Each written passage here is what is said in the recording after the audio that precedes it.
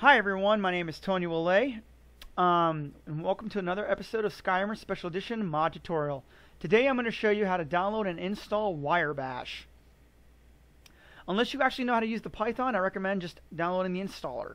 It's real simple, real easy to use, and it'll go ahead and it'll put it in your inventory for you. Alright, so you're going to go ahead and you're going to download the installer right now. Give it a moment while it downloads. Okay. Once it downloads and it's fully downloaded, you're going to go ahead and put it in any folder you wish to put your mod tools or any uh, other extra third-party uh, utilities that you use for, for modding Skyrim in any folder you like. And it should have the installer ready for you. So I already have that set up, so we're going to go ahead and we're going to go to the installer menu, which is under my mod tools. So as you can see, Wrye Bash is installers right here. All you do is go ahead and click on it. Basically the, the, the, the little setup um, menu will show up. Go to next. So unless you're unless you actually want to also install uh, for Wrye Bash for Skyrim, Bash patch for and a Bash patch for Fallout 4, just go ahead and unclick these. All right, go ahead and click next because we're, we're all we're doing is this installing for Skyrim Special Edition. Click install.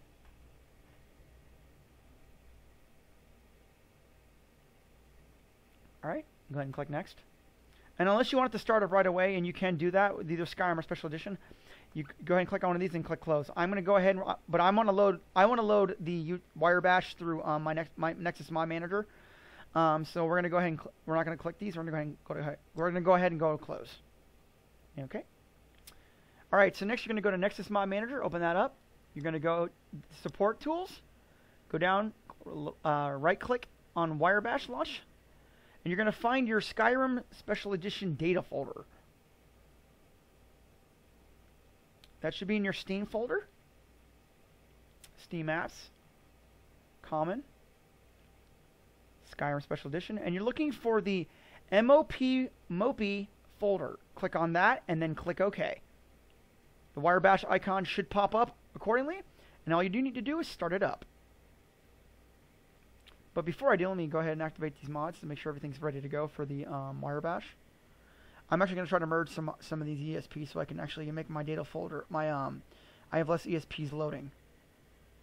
The bash patch should do that for us. Okay, let's go ahead and launch it up.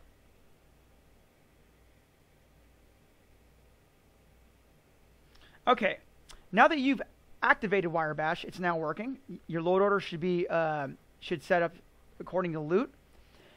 Um, once that's ready to go, you're going to go ahead and click the bash patch.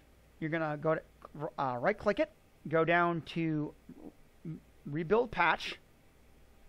If you want to merge these, go ahead and merge them. If not, just uncheck them.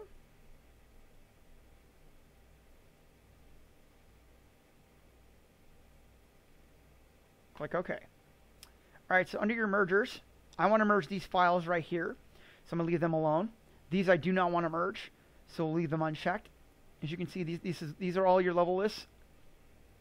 Everything that you're going to go in the in the, in the in the setting tweaks and the import inventory that we're going to go ahead and we're going to um we're going to put in our bash patch. So you oh you go ahead, make sure everything's good to go, and you're going to go ahead and click build patch.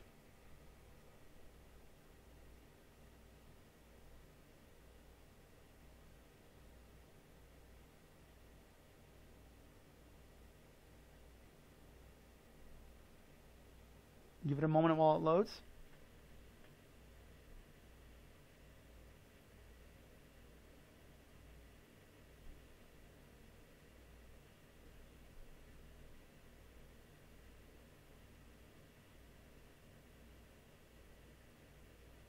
I have a lot of mods, so depending on how many mods you have, it may take a minute for the bash patch to be created.